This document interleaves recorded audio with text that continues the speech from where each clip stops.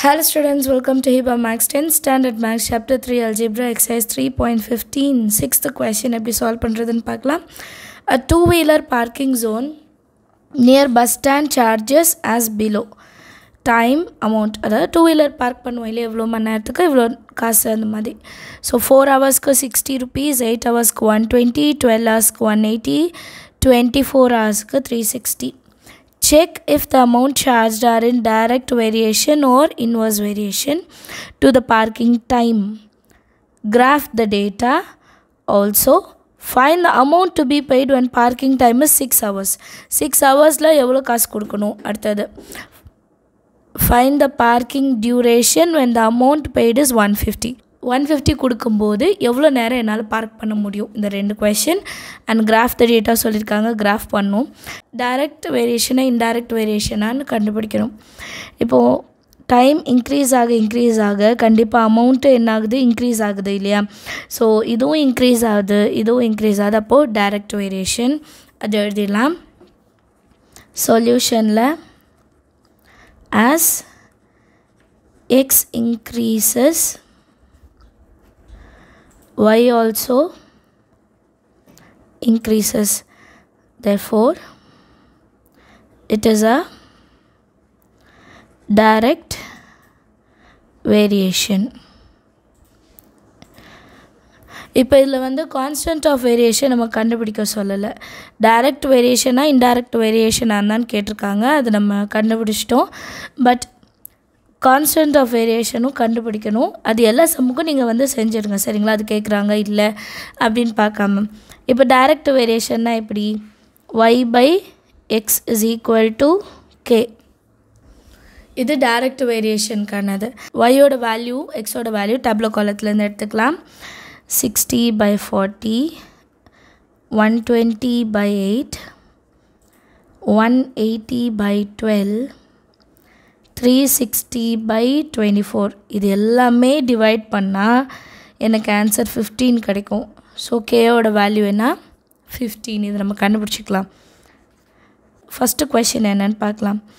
Find the amount to be paid when parking time six hours six hours parking time டைம்னா எக்ஸோட value கொடுத்துட்டாங்க. K value என்ன நமக்கு தெரிஞ்சிச்சு? ஒய் வேல்யூ வந்து கண்டுபிடிக்கணும். கிராஃபில் வரைஞ்சும் நம்ம கண்டுபிடிக்கலாம். அதுக்கு முன்னாடி நம்ம வந்து என்ன பண்ணிடணும்? சைடில் வந்து ரஃப்பாகவும் செஞ்சு பார்த்துடணும் சரிங்களா? இப்போ எக்ஸோட வேல்யூ என்ன கொடுத்துருக்காங்க அப்படின்னா சிக்ஸ் ஹவர்ஸ் ஒய் வேல்யூ தெரியாது. K value fifteen so y is equal to fifteen into six ninety first சம்முக்கு வந்து ஆன்சர் நைன்ட்டி வரணும். அடுத்த சம்முக்கு கண்டுபிடிச்சிடலாம். அப்புறம் கிராஃப் வரைஞ்சிட்டு நம்ம ஃபுல்லாக பார்த்துடலாம் அடுத்து find the parking duration when the amount to be paid is one fifty ஒய்யோட வேல்யூ ஒன் ஃபிஃப்டி கொடுத்துட்டாங்க. எக்ஸ் என்னன்னு கேட்குறாங்க கே வேல்யூ ஃபிஃப்டீன் தெரியும். இப்போ இந்த ஃபிஃப்டீன் கீழே கொண்டு வந்துடலாம். One fifty by fifteen is equal to x cancel பண்ணால் டென்னு ஸோ இது சைடில் நம்ம கண்டுபிடிச்சிட்டோம். ஃபஸ்ட்டு நைன்ட்டி வரணும் அப்புறம் டென் வரணும். இப்போ கிராஃப் ப்ளாட் பண்ணலாம். கிராஃப் வந்து நான் two four six eight two units எடுத்திருக்கேன். ஏன்னா ஃபோர் எயிட் டுவெல்லுன்னு தான் வருது. அடுத்தது வந்து தேர்ட்டி சிக்ஸ்டி நைன்ட்டி ஒன் டுவெண்ட்டின்னு எடுத்திருக்கேன். ஏன்னா சிக்ஸ்டிலேருந்து தான் ஸ்டார்ட் ஆகுது. ஸோ கொஞ்சம் லென்த்தாக போகும். அதனால் நம்ம தேர்ட்டின்னு எடுத்துக்கலாம். ஸ்கேல் பாருங்கள் x axis one centimetre is equal to two unit y axis one centimetre is equal to போய்ட்டு தேர்ட்டி யூனிட்ஸ் சரிங்களா? இப்போது கொடுத்துருக்க டேப்லோ காலத்தில் இருக்கிற பாயிண்ட்ஸை ப்ளாட் பண்ணலாம். ஃபஸ்ட்டு ஃபோர் கம்மா சிக்ஸ்டி இங்கே ஃபோர் இருக்குது இங்கே சிக்ஸ்டி இருக்குது ஃபோர் கம்மா சிக்ஸ்டி அடுத்தது எயிட் கம்மா ஒன் டுவெண்ட்டி இது எயிட்டு இங்கே one twenty eight comma one twenty அடுத்து டுவெல்லேருந்து ஒன் எயிட்டி இது டுவெல் டுவெல் டுவெல் இங்கே ஒன் எயிட்டி அடுத்தது டுவெண்ட்டி ஃபோர் சைடில் வந்துச்சு. டுவெண்ட்டி ஃபோருக்கு வந்து த்ரீ சிக்ஸ்டி த்ரீ சிக்ஸ்டி வரைக்கும் தான் எழுதியிருக்கேன் இது டுவெண்ட்டி ஃபோரு இங்கே த்ரீ சிக்ஸ்டி வரைக்கும் வந்துருச்சு. இதை ஒரு லைன் வந்து ஜாயின் பண்ணிடலாம் ஸ்கேல் வச்சு. இப்போ ஒரு லைன் வரைஞ்சிட்டோம். ஓகேங்களா இப்போ அவங்க ஃபஸ்ட்டு கொஷின் என்ன கேட்டிருந்தாங்க? Find the amount to be paid when the parking six hours அப்போ சிக்ஸ் ஹவர்ஸ்னால் இங்கே இருக்குது சிக்ஸ் ஹவர்ஸ் தெரியுதா? சிக்ஸ் ஹவர்ஸ் எங்கே இருக்குது இந்த சிக்ஸ் ஹவர்ஸ்க்கு நேராக ஒரு லைன் ட்ராப் பண்ண போகிறோம் இந்த லைன் வந்து இந்த கோடில் இருக்குது அந்த பாயிண்ட்லேருந்து நம்ம ஒய் ஆக்சஸ்க்கு ஒரு லைன் வரைஞ்சோன்னா கரெக்டாக 90 டிகிரி இது நம்ம வரைஞ்சது கரெக்டாக தப்பா அப்படின்றதுக்கு நம்ம ஆல்ரெடி கண்டுபிடிச்சிட்டோம் அங்கே இல்லைங்களா? சிக்ஸ் கம்மா நைன்ட்டி ஆல்ரெடி கண்டுபிடிச்சிட்டோம் அங்கே. அதனால் நம்ம பண்ணுறது கரெக்ட் அப்படின்னு நம்ம அண்டர்ஸ்டாண்ட் பண்ணிக்கலாம். அடுத்தது வந்து one fifty one fifty rupees கொடுத்தா எவ்வளோ நேரம் பார்க் பண்ண முடியும்? இப்போ ஒன் ஃபிஃப்டிலேருந்து ஒரு கோடு வரைங்க டேரெக்டாக டென்னுக்கு வந்துருச்சு பாருங்கள் எக்ஸ் ஆக்சஸ் அப்போ நம்ம கண்டுபிடிச்சது கரெக்டு தான் இல்லைங்களா? Ten comma one fifty so இது ரெண்டுத்தையும் ஸ்டேட்மெண்ட்டில் எழுதணும் அவ்வளோதான் ஸ்டேட்மெண்ட்டில் எழுதலாம். When parking time six hours amount to be paid is rupees 90 90 rupees pay பண்ணும். ஓகேவா அடுத்தது அடுத்த கொஷின் என்ன கேட்டிருந்தாங்க? Find the parking duration when amount is one fifty அப்போ அப்படியே எழுதணும். ஸோ நெக்ஸ்ட் பாயிண்ட் என்ன? When the amount paid is rupees 150